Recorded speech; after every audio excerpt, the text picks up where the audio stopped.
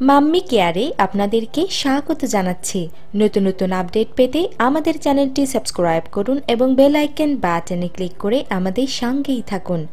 যেসব মায়েরা সত্য গর্ভবতী হয়েছেন, তাদের জন্য আমরা মাম্মি প্রেগনেন্সি কেয়ার নামে নতুন একটি চ্যানেল লঞ্চ করেছি। চ্যানেলের লিঙ্কটি ডেসক্রিপশন বক্সে দেয়া আছে।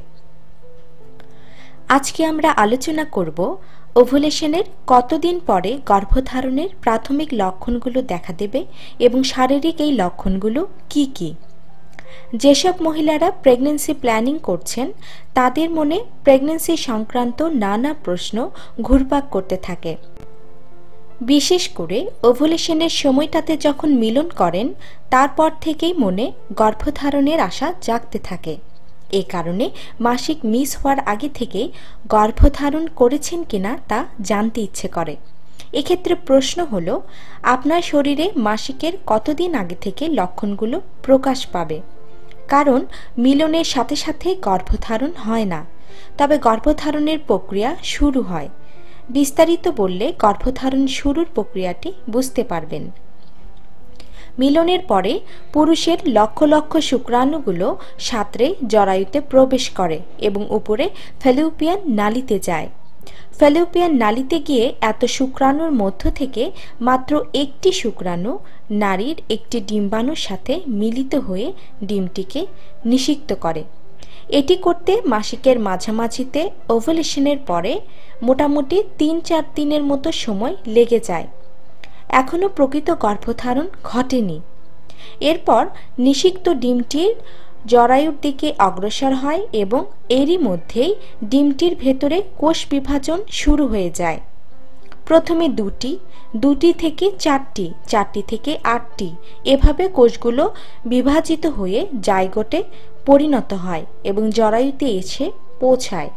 জরায়ুর দেয়াল এ সময়ে অনেক নরম ও পুরু হয়ে ওঠে, যাতে গর্ভধারণ করলে গর্ভের বাচ্চাটিকে ধারণ করতে পারে। আর যদি গর্ভধারণ না ঘটে, তাহলে জরায়ুর এই পুরু প্রাচীর মাসিকের রক্তের সাথে বেরিয়ে যায়।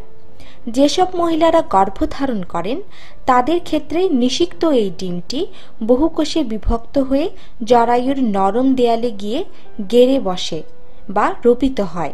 একে গর্ভরোপণ বলে। গর্ভরোপণের মধ্য দিয়েই প্রেগনেন্সির আনুষ্ঠানিক প্রক্রিয়া শুরু হয়। অর্থাৎ এখানেই প্রথমে ভ্রূণে পরিণত হয়, ভ্রূণে হার্টবিট আসে প্রাণের সঞ্চার হয় এবং সেখান থেকেই ধীরে ধীরে একজন পূর্ণাঙ্গ মানুষে পরিণত হয়। মিলনের পরে শুক্রাণু ও ডিম্বাণুর মিলন থেকে শুরু করে জরায়ুতে গর্ভরোপণ পর্যন্ত এই পুরো প্রক্রিয়াটি সম্পন্ন হতে মোটামুটি প্রায় সাত থেকে আট দিনের মতো সময় লেগে যায়। অর্থাৎ মাসিকের মাঝামাঝিতে ওভুলেশনের সময়টাতে মিলনের প্রায় এক সপ্তাহ পরে আপনার গর্ভরোপণের কাজ সম্পন্ন হবে। এরপর থেকেই ধীরে ধীরে শরীরে লক্ষণগুলো দেখতে পারবেন। কারণ গর্ভধারণের প্রক্রিয়া শুরু হলেই শরীরে প্রেগনেন্সি হরমোন যার নাম বিটা সিজি এর পরিমাণ বাড়তে থাকে এবং শরীরে গর্ভধারণের লক্ষণগুলোও প্রকাশ পেতে থাকে। এর মধ্যে প্রথম যে লক্ষণটি প্রকাশ পায় সেটি হলো গর্ভরোপণ রক্তপাত। কারণ জরায়ুতে নিষিক্ত ডিমটি যখন গেথে বসে, তখন এক ধরনের হালকা রক্তপাত হয়। যা গোলাপি বা বাদামি বর্ণের হয়ে সাদা স্রাবের মধ্যে ছোপ ছোপ রক্তের আকারে জনিপথে বেরিয়ে আসে। এটি গর্ভধারণের একটি সুস্পষ্ট প্রাথমিক লক্ষণ, যা মাসিক মিস হওয়ার ছয় সাত দিন আগেই অনেক মহিলারা দেখতে পান। তবে এটি সব গর্ভবতী মহিলারাই যে দেখবেন এমন কিন্তু নয়। তাই এ লক্ষণ দেখা না দিলেও গর্ভধারণ হয়নি ভেবে দুশ্চিন্তার কিছু নেই। অন্য লক্ষণগুলো আলোচনা করছি, সেগুলো আছে কিনা দেখে নিন। গর্ভধারণের দ্বিতীয় যে লক্ষণটি দেখা দেয়, সেটি হলো ক্র্যাম্পিং। নিষিক্ত ডিমটি যখন জরায়ুর নরম দেয়ালে গেড়ে বসে, তখন জরায়ুর ওই জায়গায় হালকা রক্তপাতের পাশাপাশি পেটে এক ধরনের হালকা ব্যথা বা ক্র্যাম্পিং অনুভব করেন, যা মাসিকের মতো তীব্র হয় না। মাসিক শুরুর আগে আগে যে পেটে ব্যথা হয়, তা মাসিক শুরুর বারো থেকে চব্বিশ ঘণ্টা আগে থেকে শুরু হয়। কিন্তু গর্ভধারণের সময়কার যে হালকা পেটে ব্যথা বা ক্র্যাম্পিং, তা মাসিক শুরুর চার পাঁচ দিন আগে থেকে টের পাবেন। তৃতীয় যে লক্ষণটি, সেটি হল নির্দিষ্ট কিছু খাবারে অরুচি।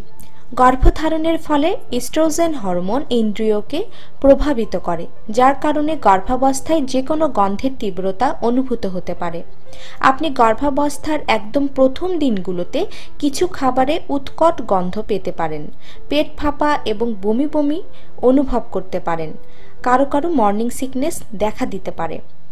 চতুর্থ যে লক্ষণটি, সেটি হলো অত্যধিক তৃষ্ণা বা প্রচণ্ড খাবার প্রবণতা। যদি দেখেন যে আপনি গ্যালন গ্যালন পানি পান করছেন, তাহলে বিস্মিত হবেন না।